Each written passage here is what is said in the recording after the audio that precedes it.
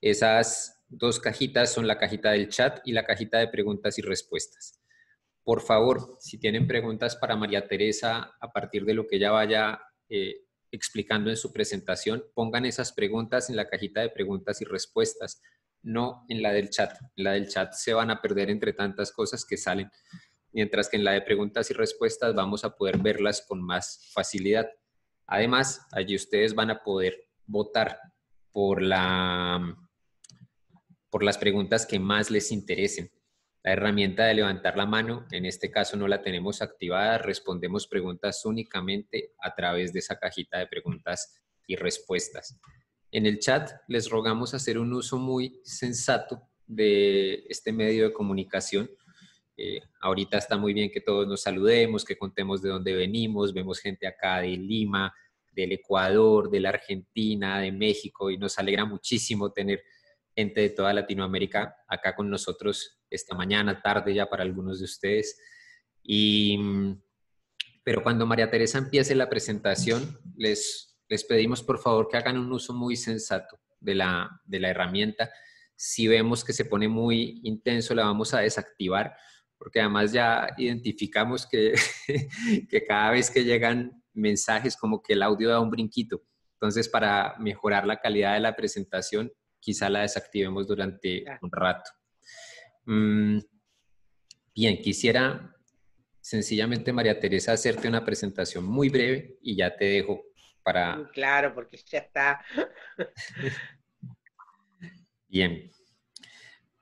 Quisiera contarles que es un lujo tener a María Teresa para, para este taller. Eh, me dio mucha emoción cuando comunicándonos por correo electrónico logramos cuadrar este taller específicamente porque eh, desde que ya vino hace dos años para el LIGPE del año 2018, yo tenía esto en mente como, qué chévere un taller de cuento con María Teresa, pero, pero como ella les contó, quizás este es un trabajo que ella no desarrolla ya tan habitualmente como lo hacía antes, así que gracias por haber aceptado esta gran invitación, María Teresa.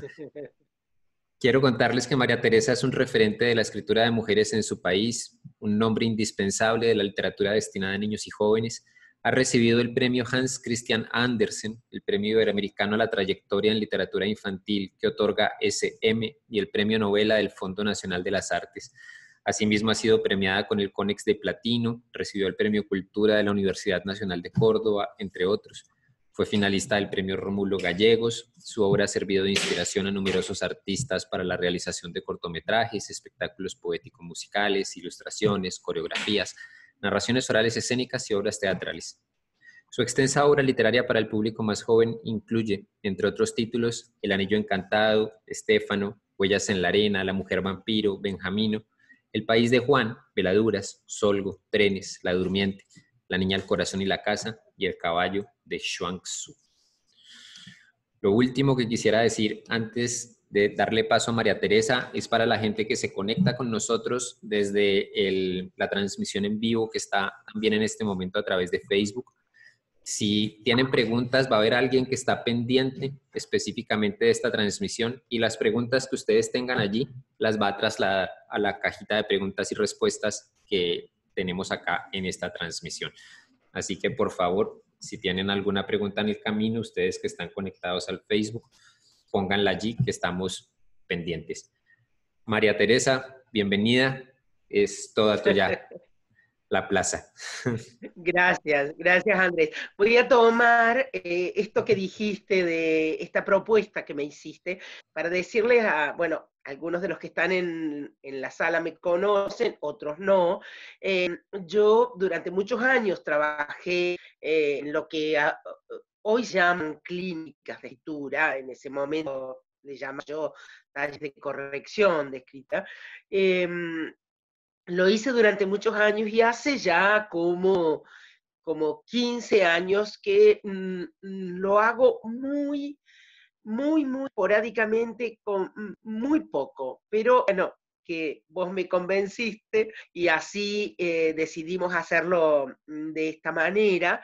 Em, eh, pasa que, eh, bueno, enseñando a otros cómo se, o mostrándole a otros cómo construir un cuento, también yo fui haciendo mis aprendizajes de escritura. Entonces hay, hay, hay un ida y vuelta todo el tiempo entre el, eh, digamos, yo soy un tipo de escritora, que hay muchas maneras de plantarse en la escritura, soy un tipo de escritora a la que le interesó mucho, quizás ese lugar eh, docente, digamos, porque yo trabajé de eso también mucho, de, acompañar a otros en procesos de escritura, soy un tipo de escritora que mm, eh, trabajó mucho sobre la reflexión sobre la propia escritura. Porque a veces hay escritores extraordinarios en los cuales su proceso es más intuitivo, digamos, o es lo, intuitivo, mm, eh, que a lo mejor en mi caso está, eh, no necesitó volverse reflexión sobre el hacer, porque no, no, necesitó ese escritor enseñarle a otros cómo hacer. Pero claro, si uno tiene un grupo de alumnos o de asistentes o de escritores que están queriendo pulir sus trabajos y uno necesita transmitirle, tiene que trabajar mucho sobre los procesos de reflexión sobre la propia escritura, lo cual quiere decir sobre los aciertos y los problemas que uno tiene al escribir. Y todo esto de lo que yo hablo, el narrador, acá el narrador, vamos a hablar de los comienzos, de los finales, de la doble historia en un cuento, además de las preguntas, entre hoy y mañana va a ser eso. Em, digamos, hay muchos espacios donde se trabaja eh, la narratología, donde se trabaja las tramas, em, los, los, indicios, las, eh, las, acciones principales, etcétera, etcétera, eh, pero son espacios más teóricos de investigación, digamos. No es tan frecuente, aunque lo hay, por supuesto, no es tan frecuente que todo eso se envíe desde el lugar de la práctica de un escritor que me parece que eso lo puedo aportar. Este lugar en el cual, bueno, una escritora, digamos, se dispone a mostrar los aciertos y problemas que tuvo en la, en la elaboración de un cuento o de algunos cuentos, o los aciertos que ve o, que, o, o los desaciertos en las escrituras de algunos cuentos, en general, de algunos cuentos emblemáticos, ¿no? Entonces, ese lugar que combina, eh, que es en esto en que estamos, ¿no? Ese lugar que combina ciertas cuestiones teóricas, pero no desde lo teórico, sino bajadas a ese hacer que es la práctica de la escritura. Hagamos de cuenta que somos carpinteros y que tuvimos la idea, una intuición para hacer una mesa bonita. Pero una mesa bonita, pero nos encontramos con algunos problemas. La madera que elegí tal vez no es la adecuada, o los gastos están bien, o tenemos las herramientas.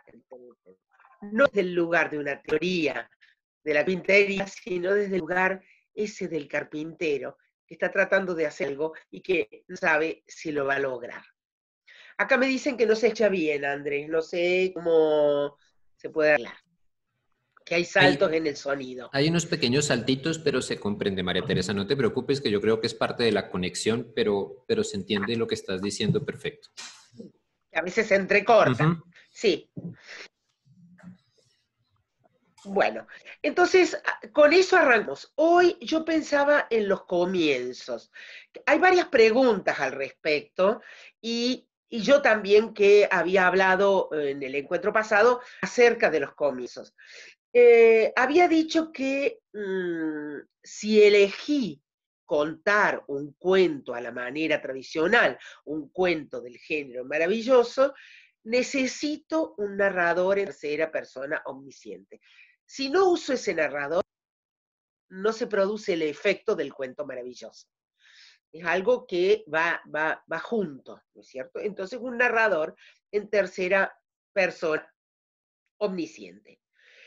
Para conseguir ese efecto necesito el efecto de un cuento maravilloso, es decir, el efecto de un cuento que funciona como de hadas o como leyenda o como mito. Em, si, si elijo eso, necesito ese narrador en tercera persona omnisciente, pero también necesito un comienzo del cuento que eh, plante el relato en un tiempo lejano y en un, en un tiempo indefinido, lejano, indefinido, eh, y en un espacio también lejano o exótico o imaginario, o que si nombra lugares reales, que esos lugares sean lo suficientemente extraños o atípicos para dar idea de antigüedad, de lejanía, de, mm, de imprecisión temporoespacial sería. Eh, solamente así, con ese tipo de comienzos, con esa infinición de tiempo y espacio, y con ese narrador tercera persona omnisciente, se crea el efecto de un cuento maravilloso. Los cuentos maravillosos, estoy hablando siempre, de, eh, llamándole maravilloso a ese género que toma los cuentos arcaicos, el mito, los cuentos de hadas, antiguos o contemporáneos. Un ejemplo precioso de esto es la lectura de los cuentos mm, eh, de hadas o los cuentos maravillosos de Marina Colasanti, que tiene muchos, eh, entre la rosa y la espada, los cuentos del libro, por ejemplo, entre la rosa y la espada, editado por Editorial Norma, por poner algunos, ¿no? La, la moza tejedora que yo les, les pasé, eh, muchos otros cuentos, más grandes que un hermano, o más chico que un hermano, no me acuerdo ahora cómo se llama. Bueno, Marina Colasanti es una gran maestra en ese tipo de cuentos, una exquisita narradora de ese tipo de cuentos. Otra exquisita narradora de ese tipo de cuentos, contemporáneas, damas, ¿no? Escritoras contemporáneas, es una escritora inglesa que se llama Angela Carter. Angela Carter, que toma los cuentos maravillosos tradicionales, en el caso de Marina son invenciones a la manera de los cuentos antiguos. En el caso de Angela Carter son reescrituras de cuentos tradicionales. Entonces toma un cuento, como si uno dijera La Cenicienta, cualquiera de esos cuentos, pero hace con eso algo que es una, una exquisitez. O sea, muy, eh, lo, llena de detalles. Por ejemplo, tiene dos versiones muy, eh, muy hermosas de La Bella y la Bestia, muy distintas y muy hermosas. El libro del cual les estoy hablando se llama Em, creo que se llama La Cámara Sangrienta, si mal no me equivoco. Disculpen porque como eh, eh, los ejemplos me vienen ahora mientras hablo con ustedes, no lo tengo en la biblioteca en, otro, en otra habitación, ¿no? Es un libro que editó Sexto Piso, Editorial Sexto Piso de México, lo editó. Creo que es La Cámara Sangrienta, es un libro bellísimo que tiene ilustraciones también. Bueno, em, decía, volviendo, los cuentos maravillosos, del género maravilloso, son cuentos que están contados en un en tercera persona omnisciente, que necesitan comenzar con una indefinición de tiempo y espacio y que comienzan por el comienzo. Después se van a dar cuenta de esto que digo, o lo voy a contrastar con lo que sigue después. Comienzan por el principio. No todos los cuentos comienzan por el principio, pero los cuentos maravillosos sí. Y entonces yo les voy a leer, porque yo también he hecho algo en ese género, como por ejemplo eh, los cuentos del Anillo Encantado o los cuentos de Huellas en la Arena o algunos otros cuentos que escribí en esa línea del género maravilloso y sobre todo en una época de mi vida. Entonces he tomado los comienzos de algunos de esos cuentos para que ustedes vean cómo es el tema de que empiezan por el comienzo, por un cierto comienzo, y sobre todo para que vean algo que está siempre, que es la indefinición de tiempo y espacio, o el plantado en un tiempo y en un espacio exóticos, imaginarios, distantes, extraños, para que entre en un mundo que no es el, ese es el efecto, para que el lector entre en un mundo que no es el de él, no es su mundo real, en el que todo es posible.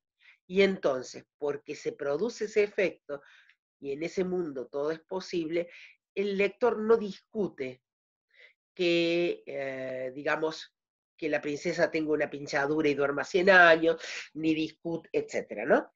Entonces, bueno, veamos algunos comienzos de mm, cuentos míos del Anillo Encantado. Por ejemplo, en el cuento que se llama Los Nueve Mirlos, el cuento que se llama Los Nueve Mirlos comienza así. Hace tiempo vivía en las colinas que lame el Belbo un rey llamado Geraldo. Geraldo era mezquino e injusto, solo para su hija acumulaba riquezas. La princesa tenía la voz transparente de los pájaros, se llamaba Geraldina y era bella como una flor sin rey, pero estaba sola, etcétera, etcétera. O sea, hace tiempo vivía en las colinas que lame el Belbo. En realidad el Belbo es un río que existe en el norte de Italia, pero para el lector eso suena como algo, bueno, que puede ser verdad o no verdad, un lugar real o no real, y si es real, es lejano, es indefinido, digamos, ¿no? Otro, otro comienzo, la camisa del hombre feliz. La historia que voy a contarle sucedió hace muchísimos años en el corazón de Siam.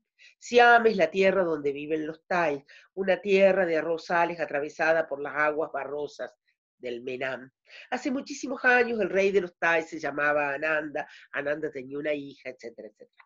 Entonces, la historia que voy a contarle sucedió hace muchísimos años, indefinición de tiempo, en el corazón de Siam, indefinición espacial, porque aunque Siam existe, digamos, es el antiguo nombre de Tailandia, es probable que el lector occidental no, sea, no sepa qué es eso, y si lo sabe le suena lejano, exótico, ¿no? Una tierra de arrozales atravesada por las aguas rosas del Menam. El Menam es un río que, existe, descubrí que existe leyéndola a Marguerite Duras, pero, digamos, para un lector occidental, el Menam, Tai, Tai, Siam, todo eso suena como lejano, como un poco poético, puso alguien ahí, eh, un poco de fantasía, un poco de fantasía. Por ejemplo, de otro cuento de ese mismo libro, Guijarros blancos, guijarros negros. Este está plantado en el mundo árabe. Del sultanato del Qatar era sultán un hombre cruel llamado Talafú. La ocupación preferida de Talafú era descubrir enemigos y destruirlos, ta, ta, ta, ta, ta. Son, son los nombres extraños, exóticos y los lugares los que ya nos dan desde el comienzo un efecto de extrañeza. Exacto, uno ubicar al lector en lugares conocidos o raros o insólitos, ¿no? O, por ejemplo, en olor a nardos del mismo libro, en los tiempos en que Almanzor dominaba el califato de Bagdad, los monjes bajaron del Turquestán y asentaron en aquella ciudad de maravillas la guardia personal de los sultanes. Estaba al frente de los invasores, un rey. Entonces yo tengo, yo, yo lector, eh, estoy en los tiempos en que un tal Almanzor, eh, un califato, Bagdad, mongoles, Turquestán, etcétera, ¿no? Sultanes, eh, un rey llamado, y aunque son datos que yo encontré en la realidad, que hubo, hubo alguien que se llamó Almanzor, hay una ciudad que se llama Bagdad, o se llamó Bagdad y ha cambiado su nombre, existen los mongoles, existe el Turquestán, o existió alguna vez una región llamada Turquestán, aunque haya cambiado el nombre, etcétera, etcétera, y existen los sultanes, todo eso junto genera un efecto, bueno, sumado a que, em, sumado a que los personajes tienen nombres que van con ese mundo. Si yo estoy en el mundo de, de esto, este mundo de, digamos, de, olor a nardos, donde está Almanzor y Bagdad y el Turquestán, etc., a la, a la protagonista no le voy a poner, eh, no le voy a poner Luisa, porque eso me lo va a traer al mundo real del lector y mío. Entonces, le voy a poner un nombre, digamos, de princesa, un nombre, eh, un nombre árabe, entonces a lo mejor mm, este, los, eh, los, príncipes o las princesas, la princesa se llama Ada, o tienen nombres, digamos, em, que se corresponden, digamos, con ese mundo, ¿no? Y si estoy en un mundo nórdico, buscaré nombres nórdicos, y si estoy en un mundo em, como el de los Tai y el de la antigua Siam, eh, a lo mejor la, la, se llamaba Ananda, ¿no? Eh, busco ahí eh, esas, esos nombres que hacen que me creen un efecto poético de lejanía, de distanciamiento, de no reconocimiento inmediato, de acceso a un mundo que no es el mío. Y porque no es el mío, yo lector puedo aceptar que ahí suceden cosas extraordinarias, en el verdadero sentido de la palabra extraordinaria, que es fuera de lo ordinario. Por ejemplo, o sea, fuera de lo común, ¿no? Entonces, em, por ejemplo, en un cuento del Anillo Encantado, en ese, en ese, en el último cuento de ese libro, un cuento que se llama La mujer del moñito. Yo quiero decirles que en el Anillo Encantado hay dos o tres, como les dije, que son eh, como, eh, como recreaciones de algo que vislumbré. Por ejemplo, en La camisa del hombre feliz eh, había algo que me contaban en el catecismo, cuando hacía yo el catecismo para tomar la comunión, me contaban en el pueblo cuando era chica, había una, una, pequeña anécdota que yo la convertí en ese cuento. Para convertirla en ese cuento, la trasladé a un lugar lejano, a Tailandia, etcétera, etcétera.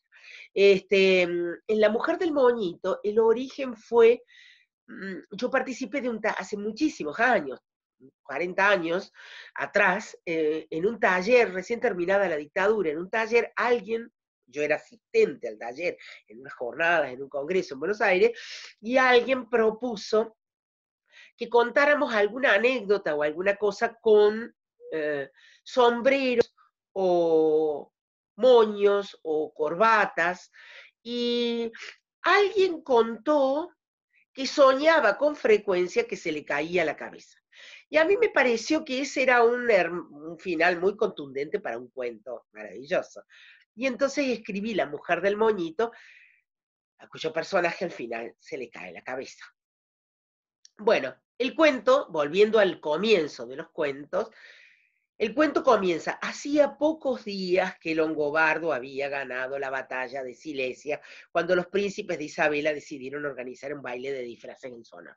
Entonces, hacía pocos días de la batalla de, Silesia. ¿Quién sabe quién es?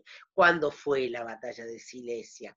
¿Y dónde? Aunque Silesia existe, es el nombre de la antigua, es el nombre antiguo que tiene la región de hoy está Polonia y un poco grande todavía.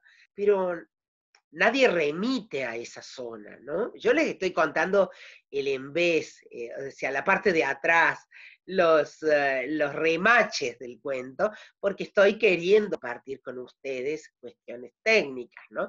Pero bueno, cuando un lector lee, escucha Longobardo, es un nombre medieval, no sabemos, pues un héroe medieval puede ser. Silesia, nos he olvidado si subí vimos alguna vez dónde estaba o no lo sabemos, y hacía pocos días de la batalla, de una batalla inventada, ¿no?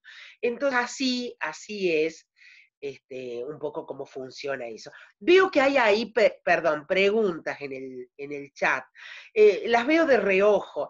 A las preguntas las voy a contestar después. Tengo una, una, cantidad importante de preguntas que tal vez me lleven algo de hoy o todo el día de mañana.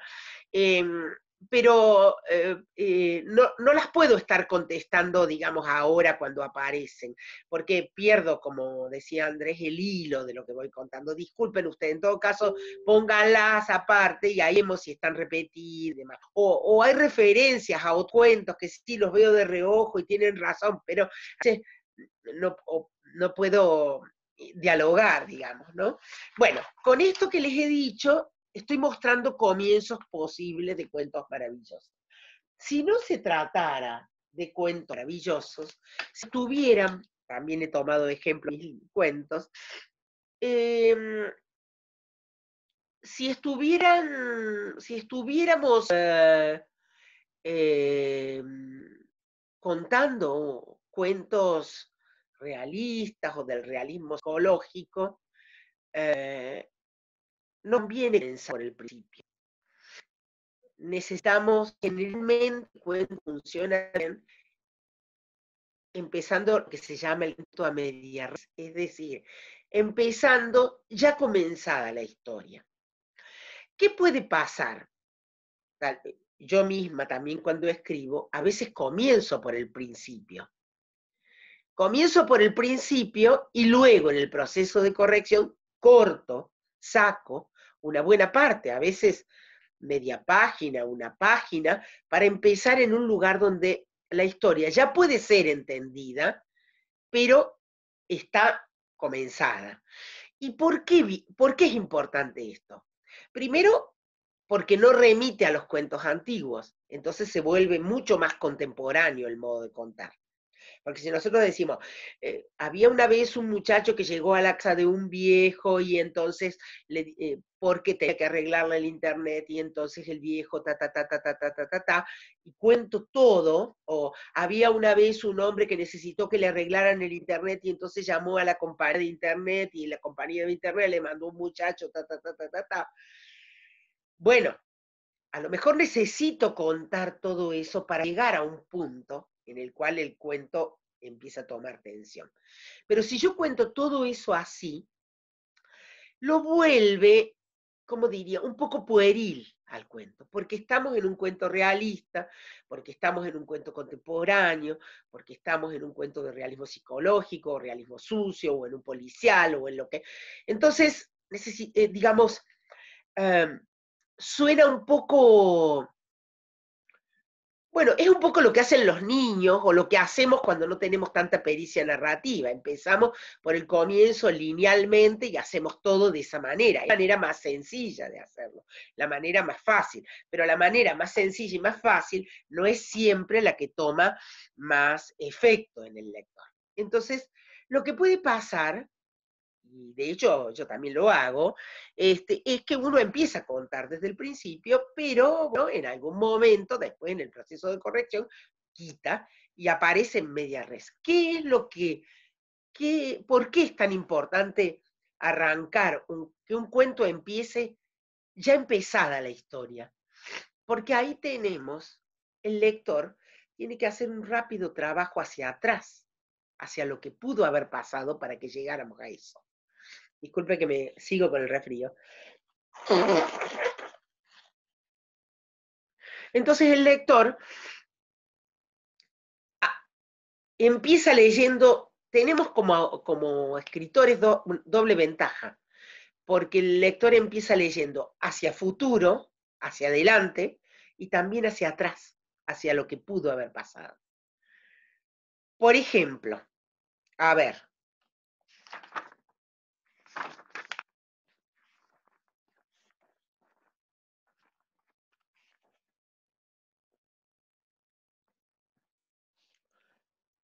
Un cuento mío que se llama Cuervo sobre Chiva es, ah, tiene un narrador que habla de, de una ella, que es una, está muy dentro de ella. Está, es un narrador que está en la cabeza y en los sentimientos de esta protagonista, que es una, una mujer joven, prostituta, que está con una infección en el hospital está muriéndose o está grave, y hace un recorrido por su vida de cómo comenzó todo, la cuestión con su madre, la, la primera vez y la única vez, sobre todo la primera vez, donde, digamos, es tomada por un viejo rico del lugar, y eso la inicia, digamos, en, en la, en la prostitución, un poco instada por la madre, hay algo con la madre ahí, de la pobreza y demás.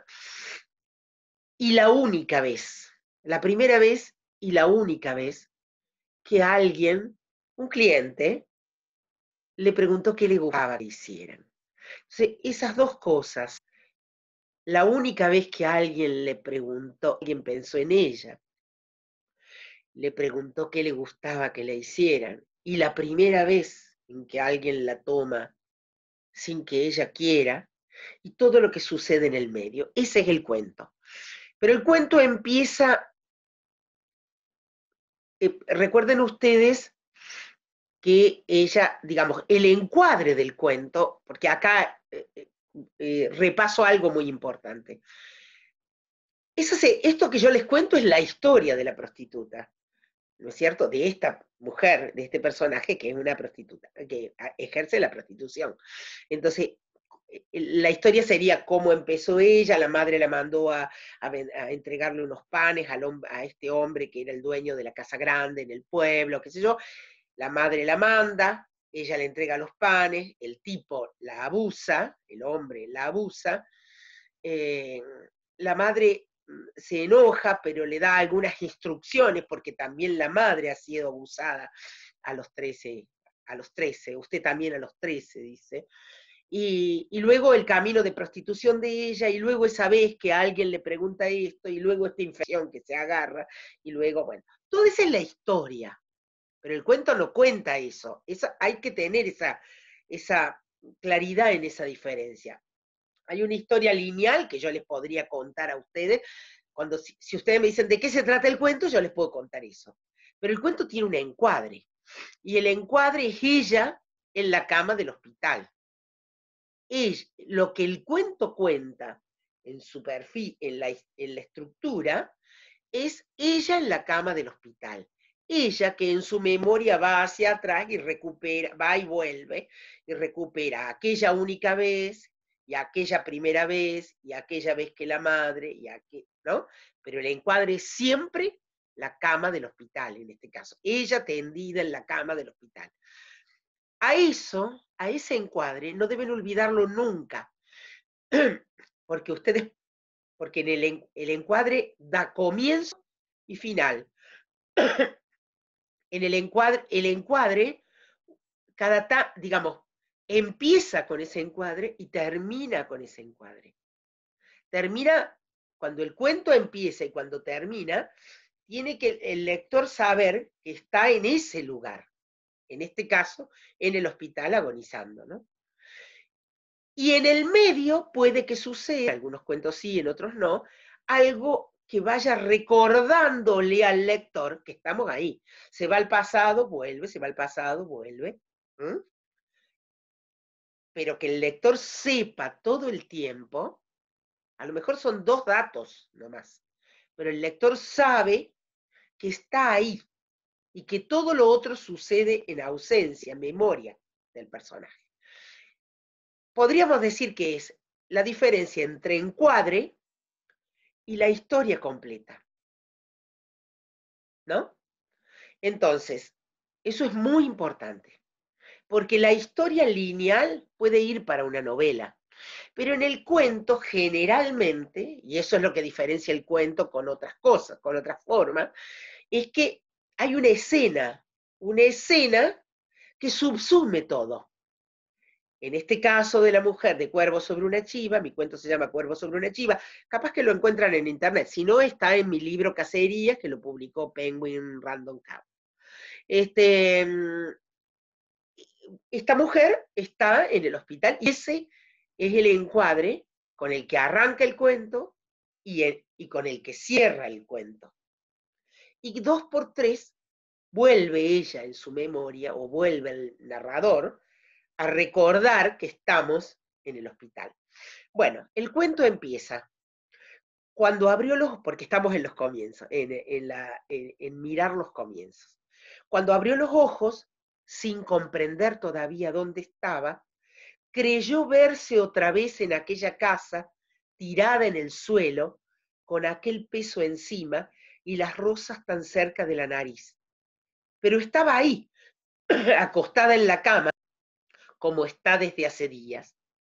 El hombre del sueño, como el verdadero, era viejo y gordo y llevaba un reloj de cadena. La tarde en que lo vio por primera vez aquel verano, tenía puesto un traje oscuro con chaleco. un poco más adelante, no tanto más adelante, dice, se acostó con el viejo muchos años, ya recuerda cuántos, hasta que él no pudo más que tocarla. Y si se quedó a su lado, fue por no darle a su madre un disgusto.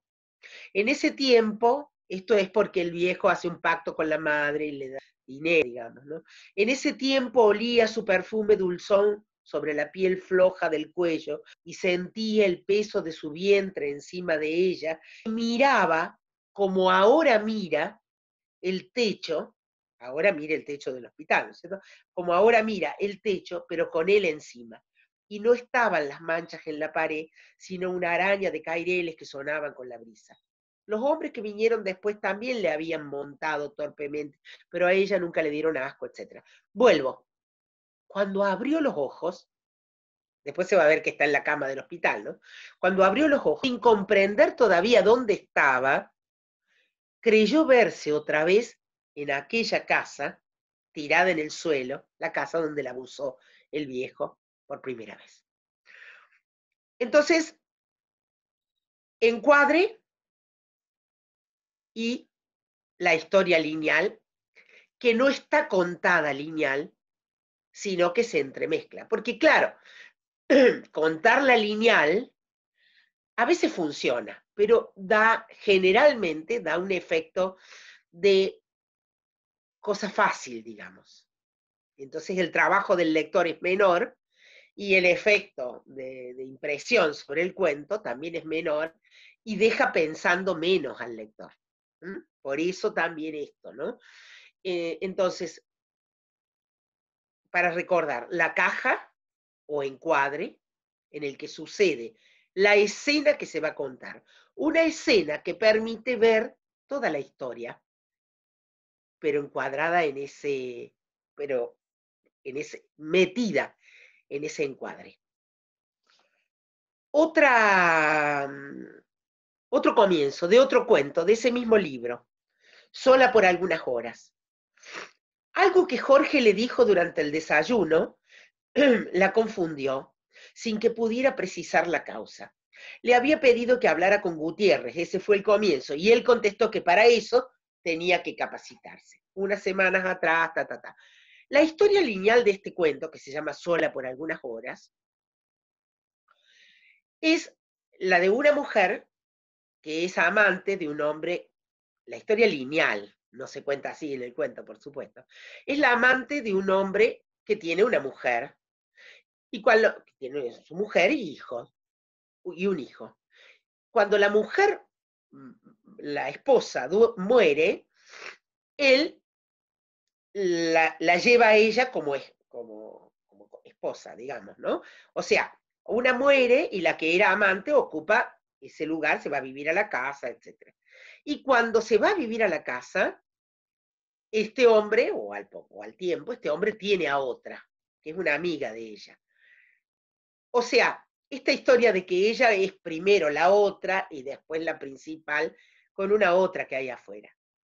Entonces, e, en, el cuento, ella, la, la, que era la otra y ahora es la esposa, eh, digamos, todo lo que antes era empieza a ser anulado. Era una compañera de trabajo, que era una, periodista con cierto éxito, cierto reconocimiento, y, ahora está convertida en la esposa que le cuida el hijo y qué sé yo, y él, bueno, todos los, los obstáculos que él le pone para que ella se quede ahí y él tenga otra. Esa sería un poco la pueril historia del cuento pero está contado de un modo en el que ella no se da cuenta hasta que se da cuenta, digamos. ¿eh? En realidad, en realidad en el cuento, quien se da cuenta de cómo son las cosas es el lector. Es uno de ese tipo de cuentos en los cuales el lector sabe más que el personaje. Eh, el cuento se llama Sola por algunas horas y eh, empieza. Algo que Jorge le dijo durante el desayuno la confundió, sin que pudiera precisar la causa. Le había pedido que hablara con Gutiérrez. Gutiérrez es un tipo que le puede dar trabajo a ella. Ese fue el comienzo. Y él contestó que para eso ella tenía que capacitarse. Una semana atrás Inés le había dicho, necesita ayuda y le ha pasado el papel con el nombre y el número. Bueno, quiero decir, si fuera lineal, yo podría haber contado, bueno, eh, la protagonista era amante de tal y un día él le dijo, cuando la mujer murió, él le dijo, anda, ta, ta, ta, ta. La historia lineal. Hubiera perdido mucho efecto, porque el lector hubiera sabido enseguida todo. Y la hubiéramos seguido a ella, digamos, con cada una de sus acciones. En cambio, aquí lo que pasa, el cuento trabaja sobre la confusión de ella, que no alcanza a ver la manipulación que él le hace que le dice tenés que capacitarte, todavía no estás a punto para esto, mejor sería que no, porque no sé qué. Bueno, todas las cosas que él le va poniendo en el canon. porque Historia de, de triángulo hay muchas, ¿no es cierto? Pero bueno, eh, o historias de amor hay muchas, de desamor bien. Hay que ver qué hace uno con eso, ¿no? Cómo contar eso de una manera, bueno, eh, de una manera que le haga, bueno, que muestre una singularidad de un modo tal que tanto nosotros al escribirla, nosotros escritores, y como el lector al leerla, ah, descubramos algo que no sabíamos. Otro comienzo. Ah, por ejemplo, en un cuento que se llama La muerte y las aves, es un cuento que tiene un narrador más bien extraño, eh, atípico diría yo. Es un narrador en primera persona. Es, pero es un cuento que trabaja sobre la idea de la, como una idea de la parábola. La parábola es cuando uno cuenta una cosa y quiere decir otra. Digamos, es, no es tan rico como la metáfora, sino hablo de una cosa y quiero decir otra. Acá este es un hombre que habla sobre, es alguien que mata en un gallinero a gallinas, a aves. Pero habla de las aves y de matar y del gallinero, y un lector, al menos un lector argentino, lo leería como matar gente en la dictadura. Eh, eso es lo que sucede. Les voy a leer el comienzo.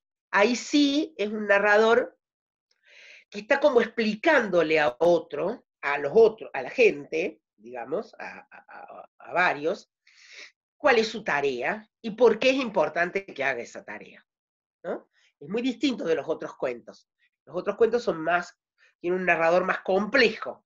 Acá es un narrador más franco, que habla de lo que hace, pero en lo que dice y en lo que hace lo podemos entender como otra cosa, ¿no? Él dice, matar es una tarea desagradable quien cría aves.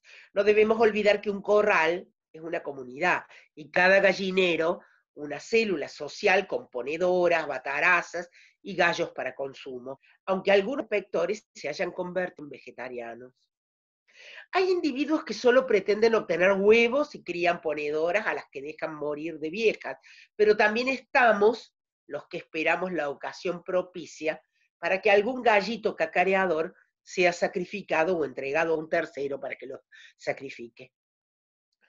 Sé que hubo un tiempo en que el gallinero era alegre, sin brumas, y las aves permanecían mudas, horas enteras, mirando sin chillar. Eso era antes, pero ni antes ni ahora. Lo de vegetarianos fue nuestro caso. Nos alimentamos de carne y no de hipocresía, de modo que pase el pase, matamos nosotros.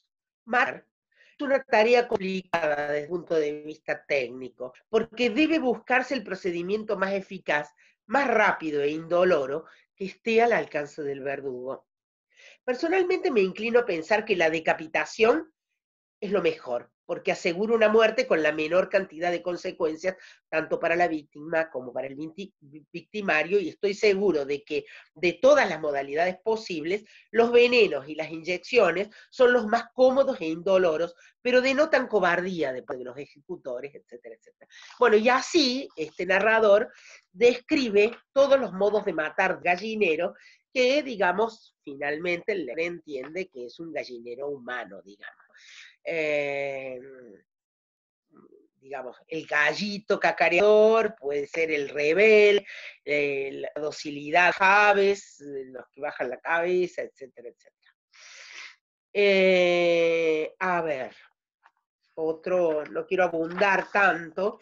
Eh, en un cuento de un cuento de mi libro de cuentos, eh, no a mucha gente le gusta esta tranquilidad, cuento, está el cuento Gina. También lo pueden encontrar en internet. En algún lugar lo colgó la editorial para acceso. Ponen Andrueto más Gina y creo que les va a aparecer. Em, si no, como les digo, está en mi libro No a mucha gente le gusta esta tranquilidad, editado por Random House Mondadori. El cuento comienza. Llegaba a casa los domingos, a veces ya borracha, y si no, se emborrachaba ahí con nosotros, antes del almuerzo o en la sobremesa, cuando mi papá se había ido a dormir la siesta y mi madre o yo lavábamos los platos. Era enfermera en un consultorio médico, pero también trabajaba a domicilio. Iba en moto con frío o calor, con su caja de inyecciones que ponía al fuego directo como se estilaba entonces. Entonces, aquí vamos a ver. Lo primero que tiene, bueno, no dice, eh, había una vez una mujer que era una italiana paisana de mi padre que venía a nuestra casa y visitaba, ta, ta, ta. Arranca con llegaba a casa los domingos. Bueno, a ver, ¿quién será esta que llega? Lo primero que hace el lector, ¿quién será la que llega los domingos, a veces borracha, y, si no, emborrachándose ahí en la casa, a qué se dedica, por qué viene, qué relación tiene con la gente de esa casa. Todo eso está detrás. Cuando uno arranca con llegaba a casa los domingos, el lector ya empieza con eso, con eso otro que no está dicho, no está escrito, pero está en ausencia, presente en el cuento. Por eso la importancia de no empezar por el estricto principio lineal de la historia. Primero eso. Segundo, eh, la narradora. Acá ya tenemos algunos datos de que es, la narradora es una niña, mejor dicho, es una adulta recordándose niña. ¿Por qué sabemos eso? Dice, no eh, si no se emborrachaba ahí, con nosotros. Es una miembro de la familia que está contando. Alguien pone ahí, muy bien, el enlace Gina. Sabemos que la narradora es una miembro de la familia a donde llega esta Gina. Sabemos de que era chica, porque que habla de cuando de algo que sucedió cuando ella era chica, porque dice cuando mi papá se había ido a dormir la siesta y mi madre o yo lavábamos los platos. Es una chica o una jovencita, no sabemos todavía. Después vamos a ver qué es una chica en realidad. Pero no es una chica que está contando en ese momento, podría haber sido una niña que cuenta lo que hace Gina en esa familia o lo que esa familia hace junto con Gina. Si hubiera sido una niña que cuenta en ese momento de niña, que sería un narrador también muy interesante para esta historia, esa niña no entendería cosas que a lo mejor el lector sí entendería. No entendería ciertas cosas de Gina, no podría interpretar ciertas cosas de su vida porque no es todavía una adulta que haya vivido esas cosas. Un ejemplo de ese narrador niño que no comprende por qué las cosas son así, que cree que son así por el destino y no por la, por la carencia económica y por las condiciones sociales, un narrador niño que no entiende eso, pero sí entiende el lector que el cuento, y por eso genera en el lector un efecto de dolor añadido, porque a la tristeza de lo que sucede se añade el dolor de darse cuenta uno de que ese personaje todavía no sabe lo dura que es la vida de, de ellos. Es el cuento es que somos muy pobres de Rulfo, cuento magistral, ¿no? No sé si lo recuerdan, es que somos muy pobres de eh, Juan Rulfo, el cuento en el que a una familia la inundación le lleva la vaca. Y entonces, como le lleva la vaca, el niño piensa que su hermana se va a ir a la prostitución como se fueron las otras y él no comprende por, eh, eh, digamos, no hay, no hay una comprensión, digamos, de por qué eso sucede, que tiene que ver con la miseria. Es que somos muy pobres, de Rulfo. Decía, en este caso no es una niña contando en el momento que es niña, es una, una mujer grande que se recuerda niña cuando esto sucedía. Se recuerda, recuerda cuando era niña y esto sucedía. Lo sabemos porque dice, iba en moto con frío o calor con su caja de inyecciones que ponía al fuego directo como se estilaba entonces. Entonces, ese, con ese dato sabemos que el tiempo de la narración está muy distante del tiempo de los hechos, ¿no? Porque en, un relato, ahí hay otra cosa, tenemos el tiempo de la narración y el tiempo de los sucesos, ¿no es cierto? Que pueden coincidir o no, ¿no es cierto? El tiempo de la narración es el tiempo del que está contando, el tiempo en el que el narrador está contando. En este caso, una mujer grande está contando un hecho que recuerda de cuando era niña. Y el tiempo de los hechos es el tiempo en que Gina llegaba a la casa y se emborrachaba, ta, ta, ta. Eh, a ver.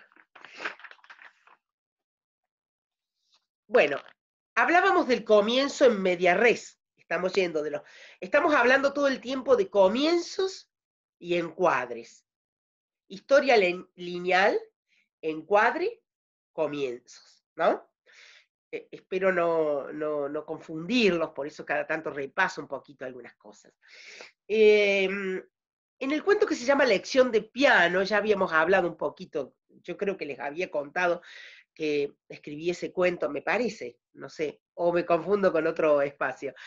Eh, un cuento que yo escribí a partir de, digamos, vino una persona que em, eh, me arreglaba el internet, me dio muchos libros, me preguntó qué me dedicaba, yo le dije que escribía, me dijo, hoy sabe usted que vengo de una casa donde este, un hombre, digamos, este, arreglarle el internet a un hombre viejo y el hombre, este, bueno, charlando, se levantó y tocó el piano, había un piano ahí, tocó el piano y me dijo que hacía mucho, no sé, 20 años, no sé cuánto, que no tocaba el piano. Ese cuento dio lugar a mi cuento, eso que él me contó dio lugar a mi cuento Lección de Piano. Yo me imaginé, bueno, a ver, ah, sí se los conté cuando les contaba de la escena. Yo me empecé a preguntar por qué un hombre eh, pasa tanto tiempo sin, tocar el piano, por qué, ese, qué pasó ese día, o qué, qué sintió ese día, que se levantó hasta el piano, etcétera, etcétera. Bueno, de eso salió la historia del cuento Lección de Piano. Yo podría haber empezado. Un hombre viejo llamó, eso sería lineal, un hombre viejo llamó a la compañía de internet para que le arregle el piano, ta, ta, ta, esto que les había dicho, y entonces la compañía de internet mandó a un muchacho, ta, ta, ta. El cuento comienza. El viejo que le abrió, porque el cuento sigue al muchacho. Entonces, ¿por qué sigue al muchacho? Porque yo no quiero saber, no quiero que se sepa desde el comienzo ¿Por qué el viejo? Ese es el cuento para mí. Ir averiguando por qué el viejo hizo lo que hizo. Si yo lo cuento desde la perspectiva del viejo, ya sea que el viejo hable en primera persona o que cuente en primera persona o que tenga un narrador localizado en el viejo, enseguida me entero de por qué razón el viejo no tocaba el piano, estuvo 20 años sin tocar y se levantó ese día y fue y tocó. No es eso lo que quiero quiero que el cuento trabaje sobre ese descubrimiento. Y entonces, como yo, Tere, que escribo, quiero descubrir eso, focalizo en el muchacho del que le va a arreglar el internet. Entonces, voy sabiendo lo que va sabiendo el muchacho. Y entonces, recién al final, se va revelando, digamos, por qué, los por qué del viejo, a partir de lo que el viejo dice y hace. Porque termina, el cuento termina con el viejo tocando el piano, eh, trajinando las teclas. Termina ahí. ¿Cómo comienza? No comienza así lineal con todo eso. Lo sigue al muchacho, sí, es como un, el narrador es como si estuviera viendo con los ojos del muchacho. Entonces, puede irse haciendo del muchacho un poco, pero no hacia adentro del viejo. Del viejo solo sabemos lo que el muchacho va viendo o escuchando. Y empieza. El viejo que le abrió la puerta tenía los pelos despatarrados y adentro la sala oscura o comedor o taller o galpón o lo que fuera aquello, estaba completamente sucia, una cosa arriba de la otra, libros sobre herramientas, cassettes, CD y discos de paz en el suelo, junto a de los vasos con algo adentro, una bandeja con alimento para gatos, tres meninos iban y venían entre los papeles, los restos de comida humana y En la sombra, porque el viejo no había encendido la luz, y el día no se filaba en las ventanas, miraba de azul celeste una computadora que hacía equilibrio sobre los ladrillos, o tal vez fueran libros acostados. El muchacho se acordó de los reclamos de su que su madre le hacía a él y sus hermanos, ta, ta, ta. Un poco más adelante dice, el viejo había llamado a la empresa pidiendo un técnico porque se le había caído la banda ancha. Esta línea es de baja velocidad, dijo el muchacho, ta, ta, ta. O sea, el viejo, digamos, el muchacho ve que el viejo está abandonado, porque dice, eh, estaba, el lugar estaba completamente sucio, una cosa arriba de la otra, libros sobre herramientas, cassettes, CD, discos de pasta en el suelo, uno junto al otro, eh, bueno, en las sombras porque el viejo no había encendido la luz. ¿Yo qué puedo pensar? Ese viejo está deprimido, está mugriento, hace tiempo que vive solo, no le importa nada de nada, etcétera, ¿no? Pero todo eso lo puedo ver como lector porque el narrador va mirando con el muchacho del internet, va mirando cómo está la habitación. Yo podría haber dicho, el viejo estaba deprimido porque hacía muchos años que se había muerto la mujer que él amaba, este, y, bueno, y por eso hacía tiempo que no arreglaba nada, tenía todo sucio, comía ahí encima de la mesa de la computadora. Podría haberlo dicho así. Sería la misma historia. El efecto sería distinto. Sería un efecto, por decirlo más claro, más llano, más sencillo para el lector, menos trabajoso, pero también sería un efecto que no me permitiría descubrir paulatinamente la cuota de, culpa, de dolor, de resentimiento y sobre todo de culpa y de arrepentimiento que tiene el viejo por lo que por el modo en que quiso a la mujer que quiso, que la quiso tanto hasta asfixiarla. Algo de eso pasa en el cuento eh, y lo vamos descubriendo con el muchacho del Internet.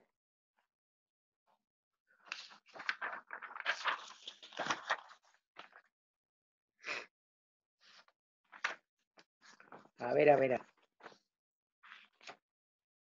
Yo había notado aquí algunas cosas, tal vez las digo mejor.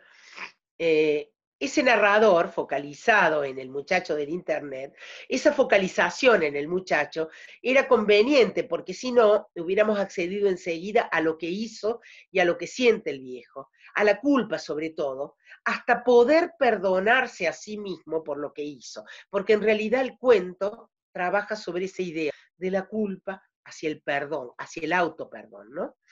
Em, también la tercera persona, el narrador en tercera focalizado en el muchacho, me resultaba aquí más interesante que la primera persona, el muchacho contando, porque podría haber una primera persona del viejo contando, pero también hubiera podido elegir la primera persona del muchacho contando. Que el muchacho nos cuente o le cuente a alguien lo que le pasó con el viejo, como me digamos en la realidad.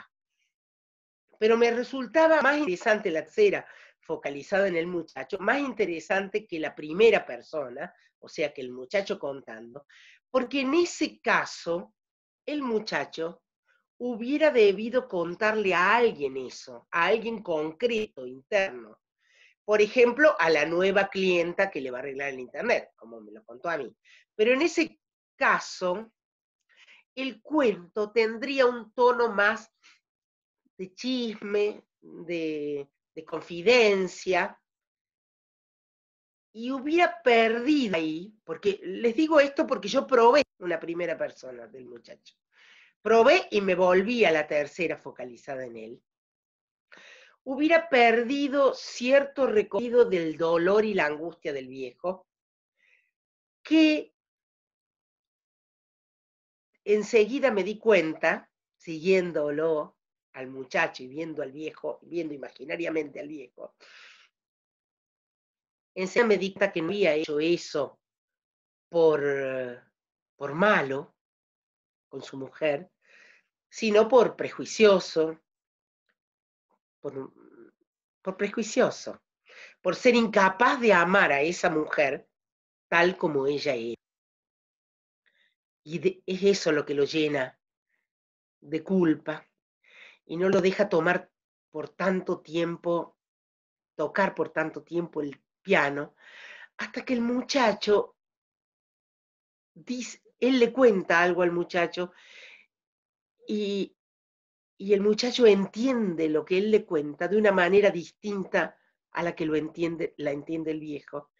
Y eso es lo que al viejo de algún modo lo libera. Le hace ver que ella de algún modo estaría contenta de que él siguiera tocando el piano. Bueno, lección de piano. Otro cuento de, de, mi libro, No a mucha gente le gusta esta tranquilidad, es un cuento, es el cuento que lleva ese nombre, ese nombre, de, el mismo nombre del libro. Mejor dicho, al libro le puse el nombre del cuento. Eh, yo escribí ese cuento pensando en, personas que conozco, que he visto así, eh, a veces en el campo, en las zonas este, más, profundas de la llanura, hay todavía gente que vive como al viejo estilo, eh, hermanos que viven, que se quedan solteros, solterones y viven como si fueran un matrimonio, ¿no? Siempre me ha llamado la atención porque uno con los hermanos a veces discute, este, bueno, tiene, puede, tiene, tiene un amor que está hecho también de diferencias, pero a veces he visto hermanos viejos que han vivido toda la vida juntos como hermanos y que mm, terminan siendo como una especie de, como una vida matrimonial, a lo mejor, por supuesto, sin, sin la relación sexo, aunque en algún caso a lo mejor también podría ser, pero digamos, una vida como de un matrimonio de viejo ya, ya em, asexuado, pero unido en todo lo demás, en la economía, en las formas del manejo de la casa, en el cuidado uno del otro, etc. Bueno, el cuento, no mucha gente le gusta esta tranquilidad, trabaja sobre esa idea, ¿no? Pero es un triángulo también, porque son dos, son tres hermanos, dos mujeres y un varón y la que muere. El encuadre del cuento es después que ella muere, ¿no? Después que ella muere, tenemos una, empieza el relato entre esa que queda y el hermano varón, ¿no? Y hay, hay algo ahí que ronda el incesto, pero nunca se desarrolla en el cuento ni tampoco sabemos si van a ir a eso los personajes o no, pero hay alguna cosa, digamos, que va, va dando como algún indicio. Resulta que cuando salió el libro, un periodista mm, literario muy, muy, este, muy, muy, como diría, muy, muy sutil en sus lecturas, un periodista argentino, se llama Máximo Soto, este, me dijo, me hizo una entrevista y me dijo, bueno, en el cuento principal del libro, porque es un cuento que está en el centro del libro, no sé si el principal, pero está en el centro del libro y es el más largo, me parece. En ese cuento dice, usted reescribe ah, el cuento más emblemático de Cortázar. Yo no lo había advertido, él se refiere a Casa Tomada, yo no lo había advertido, pero sí hay, digamos, hay muchas influencias literarias que uno va teniendo eh, sin, bueno, las influencias mayores son aquellas que uno ni siquiera advierte, ¿no es cierto? Este, sí sucede que hay un matrimonio de hermanos acá y en Casa Tomada también, ¿no es cierto? Matrimonio de hermanos, entre comillas, ¿no es cierto? Este, y en Casa Tomada también. Los registros son muy distintos, ¿no? Porque, porque mm, en Casa Tomada es un cuento fantástico, digamos, el registro es el de un cuento fantástico, este, digamos, en, el, no, no, de fantasía, sino del género, obviamente fantástico, un cuento extraordinario. Eh, este cuento mío es un cuento, un cuento realista de atmósferas más que nada, ¿no? Em, y bueno, les quería contar justamente eso, ¿no? Un trío de hermanos dos mujeres y un varón, o sea, la cuestión lineal sería esto, dos mujeres y un varón, tres hermanos, con una madre que muere muy joven, un padre muy autoritario, muy antiguo, muy conservador, como de campo, muy de campo adentro, este, gente que están bien porque tienen un campo, tienen, dinero, digamos, no, no es ese el tema, no es, no es que son campesinos pobres, son eh, productores agropecuarios, pero a la manera muy arcaica, muy, han sido muy dominados por el padre, y ese tipo de familias en las que no entra nadie, cualquier novio, esto, esto está dado en el cuento, pero así como yendo y viniendo, ¿no? Que, bueno, este novio no gusta, esta novia tampoco, este otro no aprueba el padre, este bueno, etcétera. Entonces, la historia lineal es esa, ¿no? Estos tres hermanos que se van, que cuando el padre muere, se quedan solos los tres y siguen viviendo según papá y mamá mm, consideraban que era bueno, ¿no? Eh, por supuesto, esto no está dicho así, esto es lo lineal. Eh, pero el encuadre, el encuadre es el encuadre de lo que sucede después que una de ellas muere y queda la otra en los primeros días del duelo. Entonces, la vida del campo, lo que pasa en el campo, lo que hace él, ella, eh, la hermana que lo mira por la ventana, él le prepara la comida, lo abriga, están en duelo, están muy tristes, pero ahí eh, en, ese, en esa tristeza se desarrolla el relato. El relato está focalizado en un narrador en tercera persona, focalizada en la mujer que queda viva, en ella, pero no entra en ella, sino apenas entra. Entra un poquito y muestra lo que se ve. No entra tanto, porque si entrara muy al fondo de ella, sabríamos si ella siente una cuestión, sabríamos con seguridad si ella siente una cuestión erótica para su hermano o no. Y yo no quería eso. Yo quería bueno, esa ambigüedad, ¿no es cierto? Bueno, no es el cuento de dos hermanos que, me parecía mucho más rico esto, que el cuento de dos hermanos que tienen una relación que incluye también el sexo, ¿no? Entonces, eh, no entra tanto el narrador, decía, no entra en su interioridad, son en las cuestiones cotidianas, es decir, que no sabemos hasta dónde, gracias a ese narrador, digamos, ese, la elección de ese narrador. En algunas preguntas, algunos me preguntan, ¿por qué un narrador es mejor que otro para una escena? Esto que les dice, ¿no? ¿Qué me permite este narrador? Porque el mejor narrador no es el que sabe más de la escena o del asunto. El mejor narrador es el que permite generar ese efecto que buscamos en el que, en el que recibe la historia, ¿no? El cuento. Eh, si, em, digamos, no entra tanto, es decir, no sabemos, no sabemos a dónde ella siente lo que siente por ser hermano. Si entrara mucho al fondo de ella, y ella contara en primera persona, tal vez nos enteraríamos de más, de demasiado nos enteraríamos. Y a veces el efecto más interesante no es saber demasiado. Sí, en el caso de los cuentos tradicionales, ahí sabemos, la, tenemos la historia completa. Pero en un narrado, en un cuento contemporáneo, tenemos la historia mediada por diversas veladuras. La veladura más importante es la del narrador.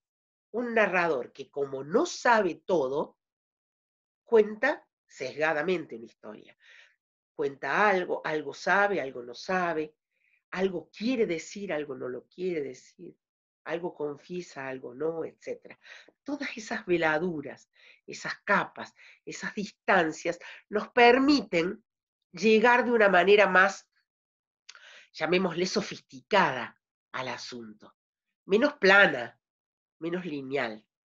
Voy a hacer una pequeña deriva, porque sobre todo cuando queremos contar algo que puede ser muy impactante, como el horror, digamos, por ejemplo, algo que nos sacude en nuestros valores occidentales, digamos, como puede ser el incesto, ¿no es cierto? Dos hermanos que, eh, digamos, eh, tienen una relación incestuosa. Bueno,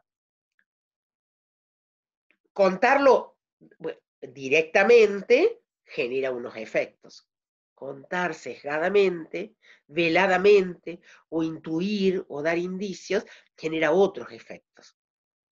Italo Calvino, en un análisis que él hace muy rico en seis propuestas para el próximo milenio, un análisis muy rico, exquisito, en... Eh, eh, a propósito, ese libro, algunos me preguntan sobre libros interesantes, sobre escritura, seis propuestas para el próximo milenio de Ítalo Calvino, eh, de editorial Ciruela, yo lo leí, yo lo tengo en una edición de editorial Ciruela, es un libro muy interesante para los escritores, para quienes quieran escribir un cuento, para, son, son mm, propuestas, lecciones de escritura.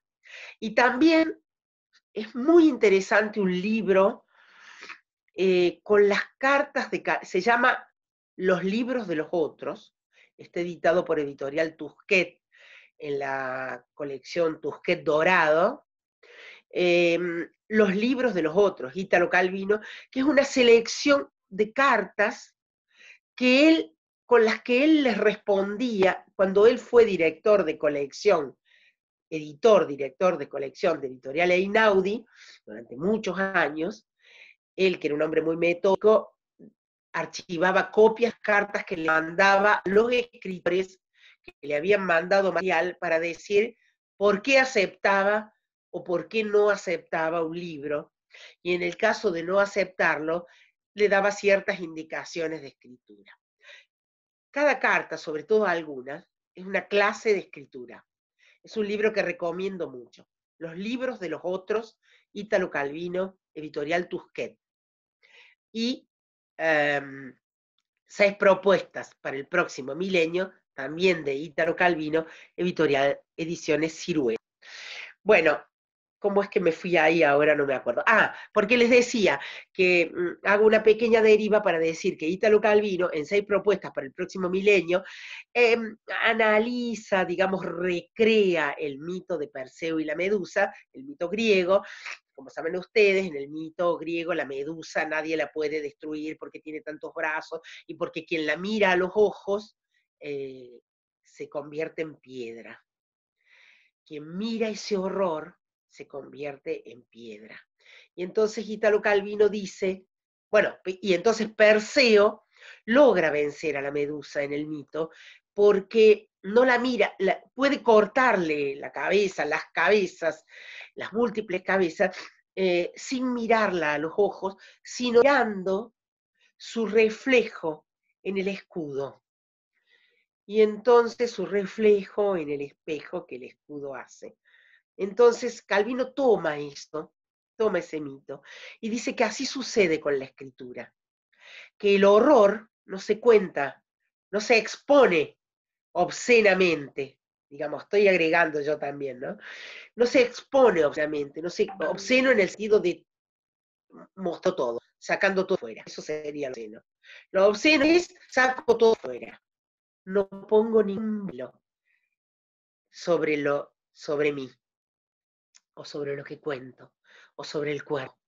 Entonces, Calvino dice que el horror no se cuenta con obscenidad, sino al sesgo, mirando, eh, narrando de modo sesgado para que el lector leyendo eso se remita a lo que se está a lo que se quiere decir, ¿no? Para que haga como esa vuelta que permite, que permite recibir el horror. Porque si uno lo mira a los ojos, se queda de piedra. ¿Y qué sería de piedra para un lector? Sería inmutable, no me dice nada, porque es tan duro, tan fuerte, que no me, no me conmueve. Es como cuando uno mira eh, las noticias y ve 10 millones de personas, no sé qué, mil, no sé cuántos caídos, una bomba destruyó. Eso entra en la razón, pero pocas veces entra en nuestro corazón.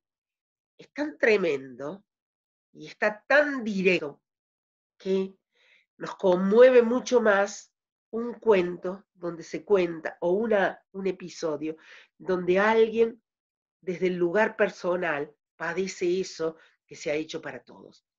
Entonces, eh, decía, eh, eh, a veces el horror es tan grande, el horror de lo que se quiere contar es tan grande, que si se mira a los ojos, nos deja de piedra, inmutable. En cambio, si se narra su reflejo en el espejo, si se narra eso sesgado, con indicios, no directo, no totalmente expuesto, hace que pensemos y nos movamos y nos inquietemos, ¿no? Entonces él dice, después sigue en su análisis del mito, dice que Calvino, Calvino dice de Perseo, que Perseo le, le corta la cabeza o las cabezas a Medusa, y de la cabeza monstruosa de Medusa nace el caballo alado, que va por el Olimpo, que corre por el Olimpo y le da una patada a la fuente de donde beben las musas. Y a través de ese análisis, Calvino dice que del horror de Medusa nace la belleza del arte. Le voy a pedir a Andrés que cierre un poquito y me deje que vaya, que me limpie la nariz y luego vuelva. Puede ser, porque sigo con mi refrío, discúlpenme. Dale, María Teresa, danos un segundo que ya Mariana se, se ocupa. ¿Cómo no? Gracias.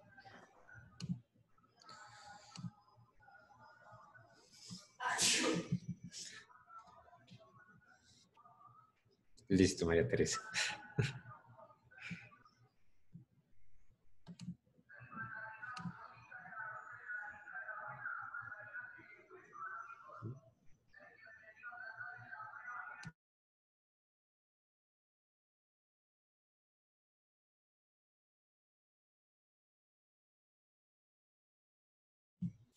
Aprovecho mientras María Teresa vuelve para invitarles a esta tarde. Hoy tenemos un doble programa. Esta tarde tenemos una charla a las 3 de la tarde hora de Colombia, 5 de la tarde hora de Argentina, Brasil, 2 de la tarde en Centroamérica, 3 de la tarde en otros países que no recuerdo en este momento, 4 eh, de la tarde en otros lugares. Una charla con el escritor uruguayo Federico Ivanier para que aquellos que quieran unirse, Mariana les va a dejar por acá en la cajita del chat el enlace. En ese mismo enlace van a encontrar ya abiertas las inscripciones para un conversatorio que vamos a tener la próxima semana con María Teresa, eh, con Marina Colasanti y con Yolanda Reyes. Así que también abierta la invitación para que vayan, hagan su inscripción y no se lo pierdan. Listo, María Teresa, ya te tenemos de vuelta. Aquí estoy, aquí estoy. Discúlpenme. Dale, permíteme. Ahí ya estás. Ahí estamos. Perfecto.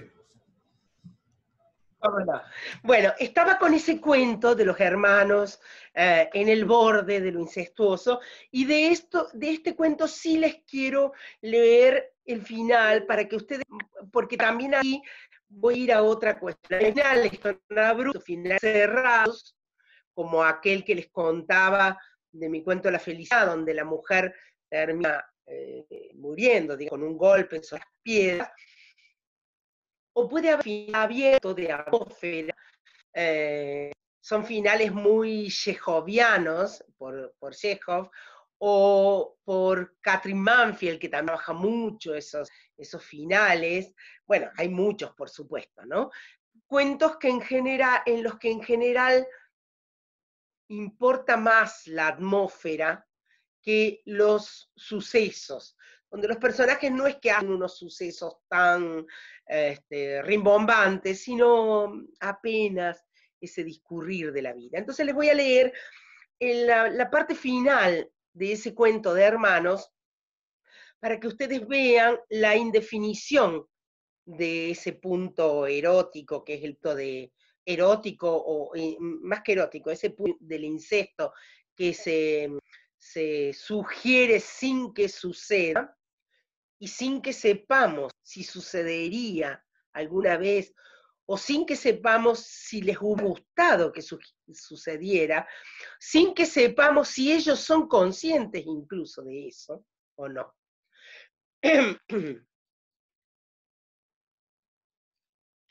Hermanito, ella le ha parado, ha preparado comida para los dos y él está triste y ella también, claro. Están tristes, pues está la muerte de la hermana y todo eso en el medio y hace frío y hay una campera colgada. Y él se va a ir a dormir. Dice, hermanito, hermanito mío, dijo, querido, se animó todavía a decir.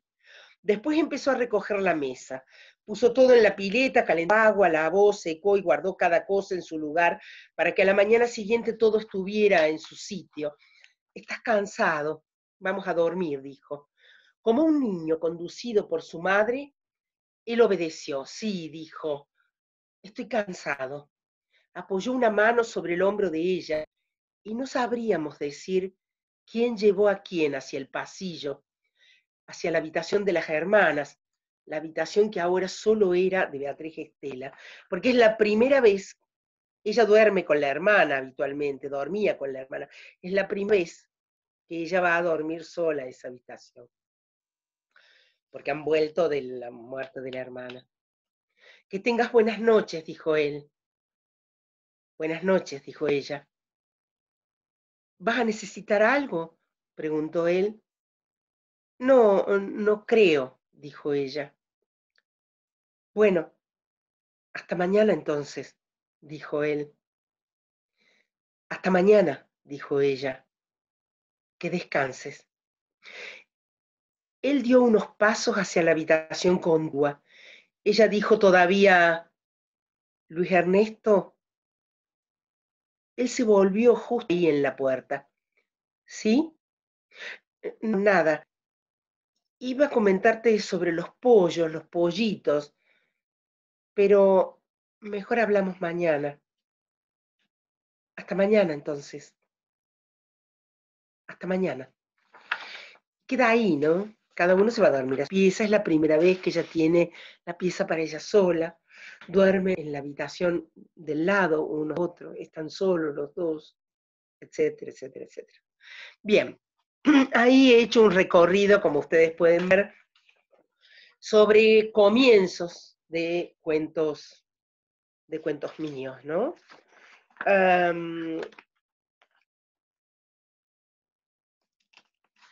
bien. Una pequeña, a ver cómo estamos con el tiempo, estamos todavía, tenemos un poquito. Yo eh, colgué creo que está colgado, Andrés me dirá, un cuento que se llama, un archivo de un cuento que se llama Una razón para irse así sin decir nada. Está y no lo puede dejar después, se puede agregar. María Teresa, los cuentos están colgados en nuestro perfil de Facebook. Acá abajo les vamos a poner igual el enlace para que los descarguen de manera directa. Ahí había eh, eh, mm, tres materiales. Uno es un cuento que se llama Una razón para irse así sin decir nada y el otro es el cuento La felicidad y un tercero que es un, texto que yo escribí sobre, mm, sobre, se llama La escena en el cuento, para mostrar el tema de la escena y la historia lineal. Voy a ir al archivo que se llama Una razón para irse así sin decir nada, Em, ustedes lo pueden tener a mano o lo pueden, no sé si lo imprimieron o no, si no, pueden cotejar el que yo digo ahora con lo que ustedes eh, eh, después mirando el cuento. Me tomé el trabajo de hacer, mm, porque hay una pregunta que aparece varias veces, después voy a recorrer un poquito las preguntas, que es, em, ¿qué diferencia un cuento de un relato? ¿Qué diferencia un cuento de un relato más sencillo o al cuento de la crónica, etcétera, etcétera? Entonces, el cuento, el o sea, uno puede llamar cuento también a un relato en general, o, manda, o relatos son todos, relato es todo lo que cuenta relato es un, en cierto relato es una novela, es una crónica, es una noticia en el periódico, es un cuento, todos relatos, formas del relato. El cuento es una forma de relato más compleja, más sofisticada, digamos, más difícil de hacer también. Y, parte de esa dificultad, sofisticación y plenitud del cuento tiene que ver con esto que hablaba del encuadre y la lineal, o sea, el cuento toma un encuadre. En una crónica a lo mejor yo hago la historia lineal. En el cuento toma una escena, como podría decir la escena esa en la que el viejo y el chico del internet están en la casa, en la casa del viejo, tomo esa escena y con esa escena voy y vengo. O tomo la escena de la, mujer, la prostituta que está en el hospital, agonizando, y va al pasado y cuenta. Cuenta de cuando era chica, cuenta de cuando la violaron, cuenta de cuando un hombre le dijo que le gustaba que le, que, le, gustaba que le hicieran, o cuenta cómo se pobreció, o cuenta que tuvo época buena, etcétera, etcétera. Todo eso se cuenta dentro del encuadre. Eso, encuadre, historia lineal, sería un poco lo que se suele decir que un cuento cuenta dos historias.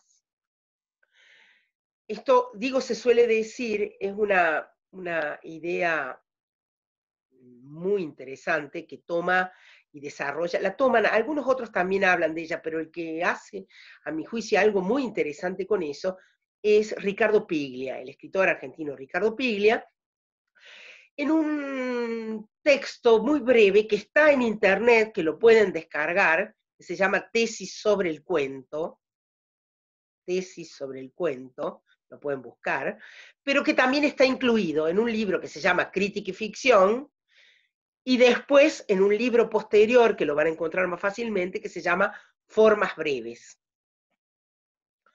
Le habla de esas, de cuentos, en realidad, cuentos una historia en superficie, una historia en superficie que es la que organiza el relato, y una historia escondida, si gracias aquí el seminario, acá Andrés al, al que nomás buscando, excelente, muy buena la asistente tenés, perfecta. Entonces, este, decía, un cuento cuenta dos historias, una historia en superficie y otra historia escondida que va apareciendo en, partes, digamos, y eh, esas, y finalmente, digamos, eso que va apareciendo tiene que ver con el final, ¿no? Eso podría encajar en esto que yo les decía, del encuadre, la historia lineal, digamos, o más lineal el encuadre porque, digamos, entonces el relato sigue el encuadre. En el caso de mi cuento La felicidad, es un viaje de picnic, día de picnic de una pareja. Y ahí va y viene, y va y viene el pasado, y finalmente algo de ese pasado se une. Digamos, algo de la historia subterránea, lineal, se une con el encuadre. Ese es el sentido, ¿no? Tiene que ver con lo que sucede en la historia de superficie, que sería el encuadre. No sé si soy clara, si me hago entender.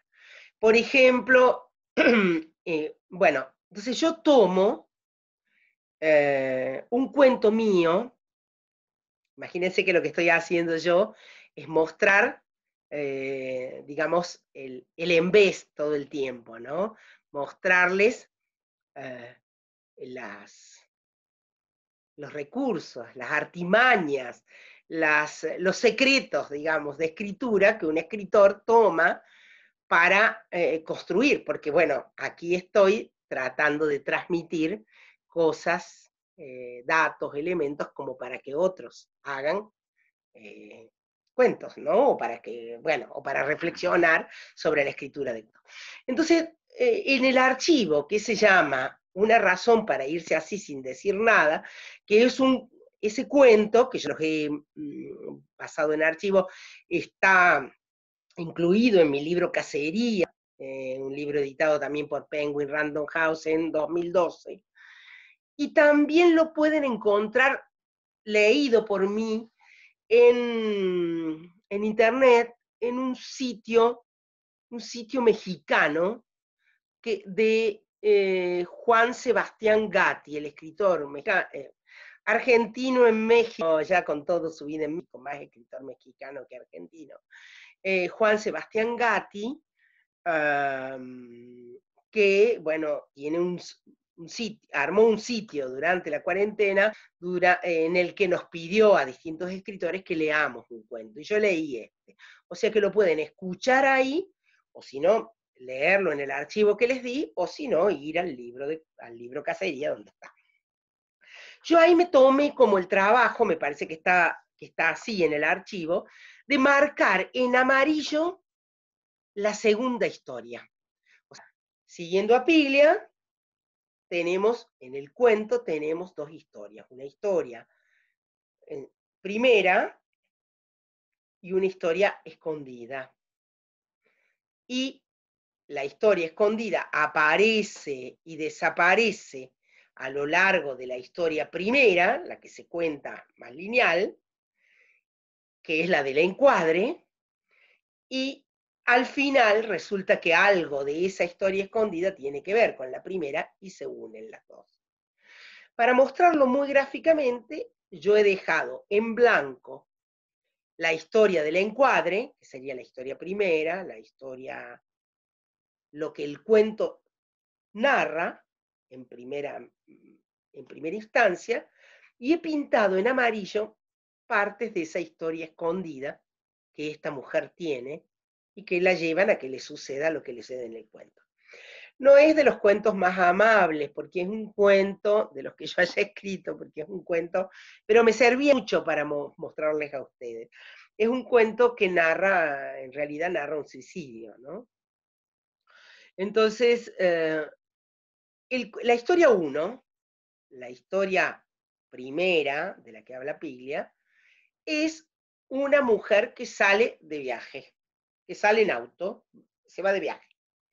Acá yo quisiera contarles qué, cuál es el origen de este cuento. Primero les quisiera contar cómo surgió el cuento en mí.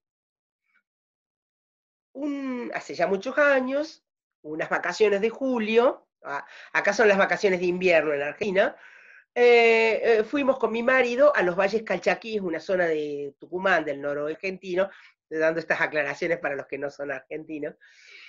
Y sucedió que nos metimos en un caminito secundario y en un pequeño poblado, caserío, un hombre tirado, muerto en, la, en, el camino, en la calle, en el camino de tierra. Y un grupo de gente alrededor, unos, los habitantes de ese lugar, alrededor, parados, sin saber qué hacer. Parece que nadie tenía un vehículo para llevarlo a algún lado, sabían cómo hacer, entonces nos paran y le piden a mi marido si lo puede llevar al muerto a algún lugar, con, alguno de ellos a algún lugar. Y entonces eso sucede, yo me quedo con, con, las mujeres, con ellos, con los, la mayoría eran mujeres, con ellos ahí, y mi marido con dos de ellos se van hasta un pueblo vecino para, no sé, a una comisaría o después un amor, no sé cómo es, o cómo sigue la cosa, pero dejan, eh, mi marido deja el muerto ahí y vuelve a buscarlo. Y nosotros seguimos viaje. Pero eso, claro, activó algo en mí. Así funcionan, digamos, la escena en, en, lo que tenemos el vicio de escribir. Digo, ¿qué pasa si a lo largo del camino van apareciendo situaciones como estas, muertos, ¿no? Entonces se me ocurre un cuento en el cual una mujer va por la ruta, va manejando y va sola, y muere uno, el otro se cae, el otro se suicida, etc. Ah, porque en ese mismo viaje, bastante después, en otro lugar, sucede que vamos queríamos comer algo y estaba todo cerrado.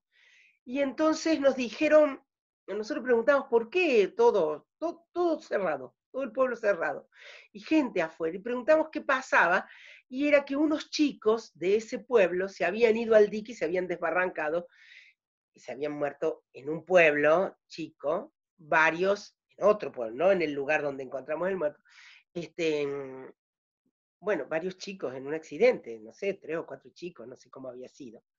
Entonces, las dos cosas que sucedieron en ese viaje, un muerto en el, camino y una, camioneta que se va arranca con adolescentes, bueno, me hicieron pensar en, después ya en casa, después de las vacaciones y todo, me hicieron pensar en un cuento en el que una mujer va en una ruta manejando y de pronto aparece un muerto, una camioneta, un accidente, bueno, etcétera, ¿no? expandir esta idea, volverla intolerable. En medio de todo eso, estoy hablando del proceso de creación, en una conversación telefónica con mi mamá en aquel momento, me dice mi mamá que una vecina nuestra en el pueblo, una mujer que vivía a unos 50 metros de casa, se había ahorcado. Entonces, son tremendas las cosas que les estoy diciendo, pero esas tres cosas, bueno, hicieron eh, digamos, activar el cuento. Tiene que ver con esto que yo les decía al comienzo, con las escenas, que uno de pronto ve algo y empiezan a aparecer otras cosas que alimentan eso mismo. Hay como un mecanismo de la misma manera que cuando uno está quebrado, ve un montón de gente con un yeso en la mano o en la piel, o cuando una mujer está embarazada, encuentra embarazada a todas partes, o por lo menos así me ha sucedido a mí, que antes no las vi. Bueno, yo em, empiezo a ver estas cosas, o eso se vuelve con una atención como sante, como tienen los psicoanalistas, a cosas que tienen que ver con el asco. Lo cierto es que empiezo a contar una historia de una mujer, el cuento cuento una historia de una mujer que sale en una ruta y va y va y va y va y termina, bueno, termina después les leo, les puedo leer algo del final, termina con una caída, digamos, no se sabe si es un suicidio o un accidente, digamos, termina ahí. En el medio va apareciendo la historia segunda, la historia escondida, que ustedes la van a encontrar en amarillo, porque me tomé el trabajo de marcarla en color, digamos, puede haber alguna parte que no sé, que se me haya escapado, pero en general para marcarla en color, para que ustedes vayan viendo. Y ustedes podrían tomar como un ejercicio, podemos hacerlo un poquito acá, leer toda la parte en amarillo sola y después volver a leer el cuento. Y entonces van a ver cómo se ensamblan una y otra. En algunos cuentos es más claro ese ensamblamiento, por eso elegí el cuento, y en otros menos. Algo parecido también pueden ver en, La felicidad. Ahí me parece que ustedes también pueden ver bastante, ahí también lo pinté, a mí no me salió pintado en el archivo, no sé si lo hice, si no alcancé a guardar o algo así. Este, pero ahí también ustedes pueden ver las dos historias. En, ese caso es la historia del, día de picnic, del día de, paseo en las sierras, y por abajo la historia hasta que a ella le pasa, que le pasa a otra, o En este pueden ver el viaje como historia 1, el viaje en auto de la mujer que va hacia su destrucción, y en la historia 2, eso que le ha pasado a ella en la vida, eso que está en su pasado, que, bueno, cuando ella era chica, en su cabello olor a menta, lo recordó como si nunca se hubieran ido las matas perfumadas bajo los frutales, ni las circunstancias que la rodeaban cuando lo supo. Ahí, por ejemplo, yo me detendría en otras cosas. No dice en el comienzo, cuando ella era chica, en su casa había olor a menta, lo recordó cuando recordó que su madre y su hermana estaban colgadas en un árbol. No, eso se dice casi al final. Al comienzo se dice ni las circunstancias que la rodeaban cuando lo supo. Entonces el lector piensa, creo yo, ¿qué es lo que supo? Y entonces se produce eso que Pavese dice, recordar que en la página debe quedar algo de no dicho, para seguir avanzando en la lectura. Un poco más adelante dice, en esa historia 2, encontró vivo todavía en la memoria un gesto de su padre, los días lejanos en el delta, la, la lanza, la caña lanzada al río, inmóvil apenas antes del sacudón en el agua. del estremecimiento que sobreviene a la criatura. Otra vez, algo ha pasado allá en el pasado que es inquietante para ella, es complicado, etcétera, etcétera. En otra parte dice, eh, siempre está ligado esa segunda historia a algo que ella va viendo en la primera historia. O sea, se detuvo en Cerritos a tomar algo. El mozo, un casi imberbe, lleva un Cristo en la oreja, un arito con forma de Cristo. En su casa tenían obsesión por los crucifijos. Su madre había empezado a comprarlos cuando su hermanita nació. Desde entonces los buscaba en todos los santuarios a los que iba para cumplir sus promesas y los colgaba desde cadenitas de oro de plata. Ahora, por ejemplo, ella recuerda, oscilando sobre el vestido blanco, aquel Cristo que había comprado una vez en reducción.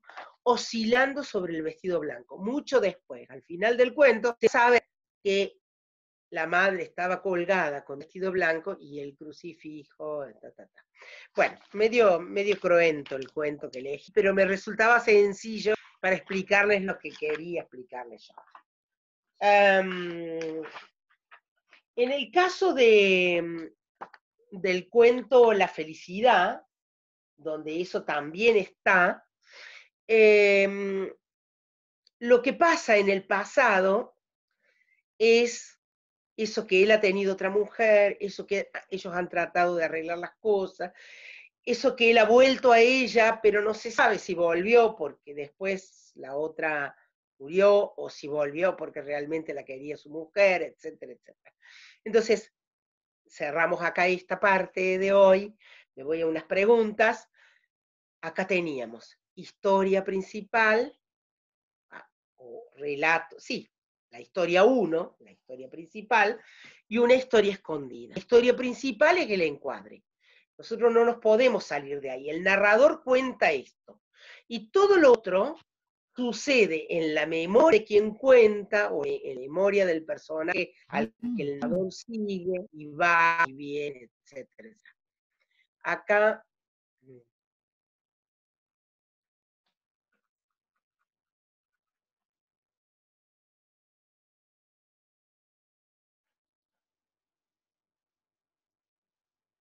Estoy deteniéndome porque tengo un mensaje. Teresa, muy buenos días. Estás ya en cinco minutitos, cuando falten diez minutos para las diez nuestras doce tuyas. Tranquila, María Teresa, ese era yo antes de que empezáramos. Perfecto, perfecto. Era para escuchar un mensaje de Andrés. Eh, sí, se abre la sala de Zoom y ahí, ahí me pueden decir eh, porque tengo, estuve viendo las preguntas. Son muchas, muchísimas, algunas muy interesantes. Entonces, podemos hacer dos cosas, eh, eh, un poco de decisión.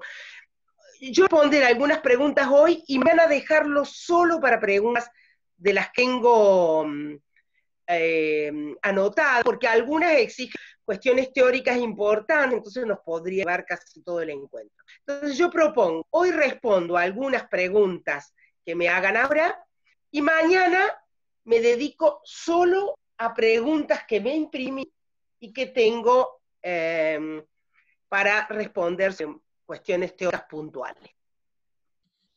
Perfecto, María Teresa. Entonces voy a compartirte algunas de las preguntas que tenemos del día de hoy y así lo hacemos. ¿Cómo no? Tenemos una pregunta de Max que nos dice, saludos cordiales, ¿cómo resolver el conflicto en un cuento? ¿Todos los cuentos deben tener conflictos? Sí, eh, en todos los cuentos deben tener conflicto en el sentido, sí, si no hay conflicto no hay cuento. Ah, eh, en todos los cuentos hay un conflicto y hay una tensión entre entre resolver de una manera o de otra. El personaje está tratando, está, tiene más de una opción, tiene siempre más de una opción, y es, eh, digamos, la gracia del cuento está la, la opción toma, ¿no? Pero a veces el conflicto es ínfimo, el conflicto quiere decir que sea una gran cosa, puede ser algo muy elemental muy sutil, apenas una apenas un detalle, ¿no? Eh, entonces, ah, sí, em, la tragedia de los griegos tiene dos opciones y ninguna de las dos tranquiliza porque todas son tremendas para el personaje. El drama contemporáneo, el drama, y el cuento entraría un poco en esa línea, aunque no sea un drama, el personaje tiene más de una opción. Y hay una que es mejor para él y otra que no. Pero mejor para su vida no quiere decir que mejor cuento. A veces, mejor cuento es el que está a un personaje en su decisión errada. Gracias, María Teresa.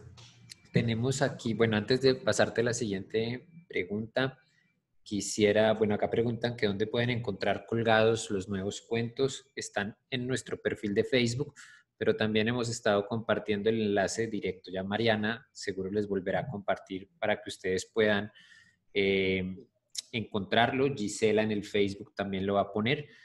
Em, les invito, además va Mariana a poner aquí en un segundo un enlace para que ustedes puedan inscribirse aquellos de ustedes que quieran acompañarnos esta tarde en la charla de Federico Ivanier, que se llama La fantasía como llave de la realidad, y va a estar muy interesante.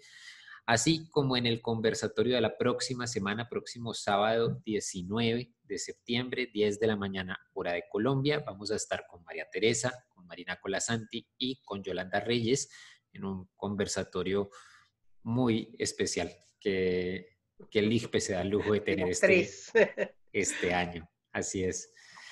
Mm, la pregunta que te hacen, María Teresa, es de Melissa Rapoport y dice, ¿podrías explayarte un poco más sobre el tema de los adjetivos? La semana pasada mencionaste algunas cuestiones. está bien, está buena la pregunta. Eh, el adjetivo, bueno, yo había, el adjetivo es la fuga del idioma, es una frase de Carpentier, pero la, usan muchos, la han usado mucho, mucho llamado la atención sobre el adjetivo. También el tema de que la escritura es una operación de resta, o sea que si quito, gano, eh, esto, bueno, hay muchos, Abelardo Castillo ha dicho sobre esto, eh, Rivera, bueno, muchos escritores lo dicen, pero el tema es que hay que saber qué quitar. Qué quitar y qué poner, porque a veces hay escrituras muy cargadas de adjetivos y muy ricas, ¿no? Hay que ver qué efecto uno quiere lograr en el otro. Por ejemplo, en Antieros, de Mercado, que estaba colgado en la primera instancia de, de nuestro seminario, em, ese, ese texto y ese libro, que también se llama el libro, eh, está, está muy cargado de adjetivos, es muy suntuoso, muy em, sensual, digamos, con ese uso de adjetivos. Pero bueno, porque hay un efecto que, el narrador quiere lograr con, con, con, la exquisitez de comidas, la sensualidad ahí yo, el, adjetivo tiene que tener a juicio un sentido, ¿no?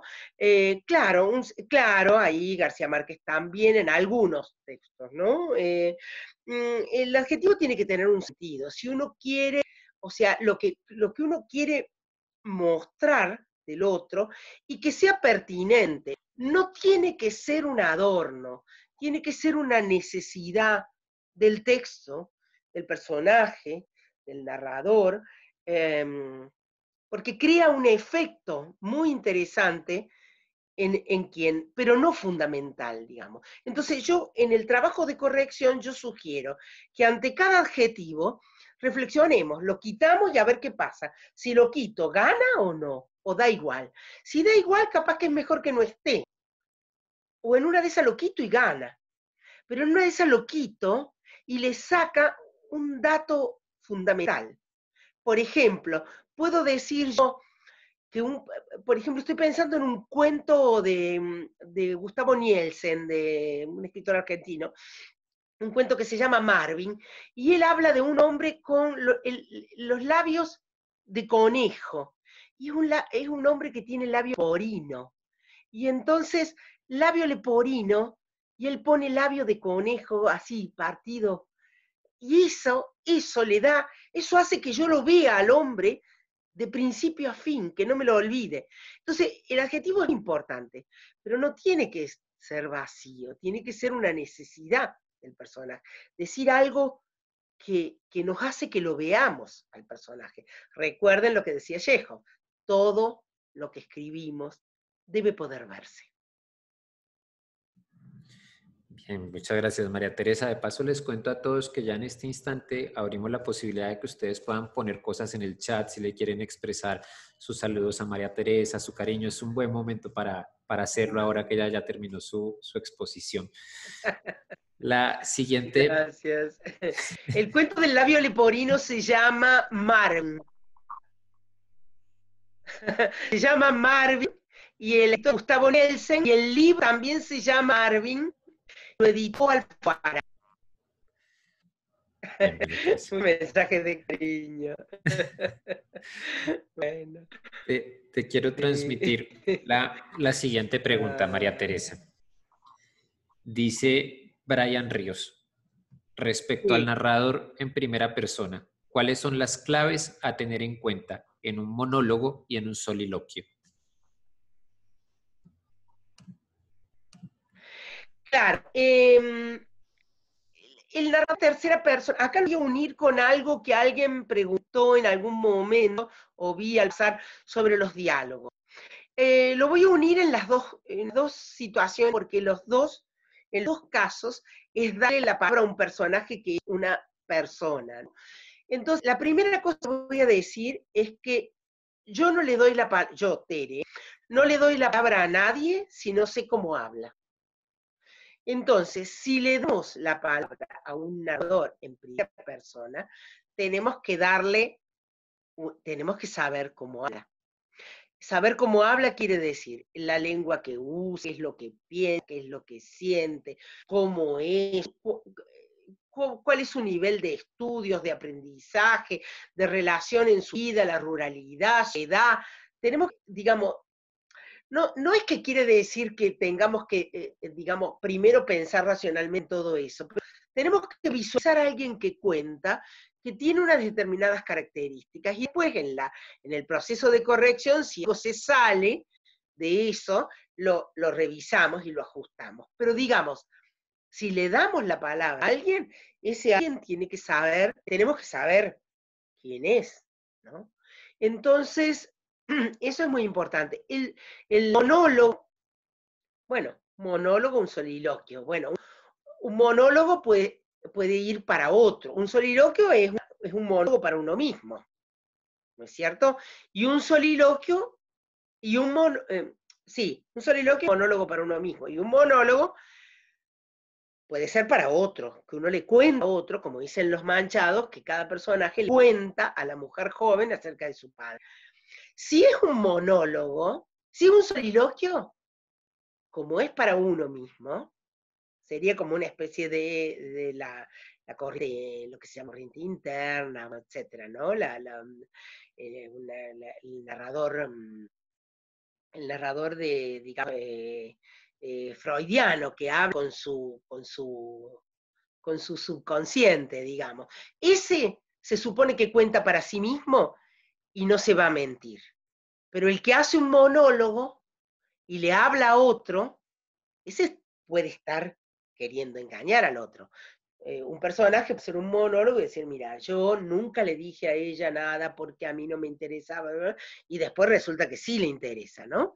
Entonces, eh, la diferencia es sutil, pero digamos que un ¿se acuerdan que nosotros decíamos que un narrador en primera persona, como narrador está obligado a decir la verdad, pero como como personaje, porque es un narrador personaje, puede mentir, entonces en el monólogo el narrador puede estar mintiendo, ¿no? Puede estar escatimando datos, puede estar falseando la verdad. Ahora, si, un, si habla así, ya se supone que no. Aunque a lo mejor encuentra alguien, un escritor, un modo de contarse a sí mismo y engañarse, ¿no? Porque siempre, siempre hay posibilidad para hacer algo distinto de lo que siempre se hizo. Bien, María Teresa, acabas de recibir acá una avalancha de amor de gente de toda América Latina. Les agradecemos Ah, un montón a todos por tu sí, por su con cariños y todo, para mí también, para todos. Veo, veo pasar algunos hombres queridos, conocidos y otra gente que no conozco. Eh, bueno, todo, ¿no? Bien, quiero agradecerle a María Teresa por su Vos sabés que finalmente me alegró mucho, hacía mucho, como te dije, que no hacía eso, y de combatir así. Yo me alegró mucho hacerlo. Finalmente, primero te había dicho que, bueno, que no sabía cómo, bueno, y finalmente estoy contenta, estoy contenta de haberlo hecho. Nos alegra muchísimo, María Teresa. Muchas gracias por compartir esto el día de hoy con nosotros. Nos veremos de nuevo mañana. Ya es hora de cerrar la llamada. Le agradecemos a las Sí, personas. quiero decir que mañana entonces yo me voy a dedicar a las preguntas. Quizá mañana no hay más preguntas nuevas, sino esas. Y si hay alguna nueva, queda para el final, si no podemos recordar todas las que hay. Que hay, hay varias, hay muchas, hay muchas, nos va a llevar, nos puede llevar las dos horas. Yo hice, eso sí explicar, dejé fuera las que consultan otras cosas, las preguntas que consultan otras cosas que no sean la escritura de cuento. Los que hablan de enviación, de infantil, o esas dejé fuera. Me dediqué solamente, me quedé menos solamente de las que tenían que ver con el cuento, junté las que eran parecidas o iguales, entonces mañana me dedico básicamente a eso, y si, si nos sobra tiempo, seguimos con preguntas. Gracias, María Bueno. Teresa. Gracias a todos. Nos veremos mañana. Recuerden inscribirse. Va Mariana poner el link en este momento para aquellos que deseen inscribirse para la charla de esta tarde y para el conversatorio de la próxima semana. Hasta pronto, María Teresa. Chao, chao, hasta mañana.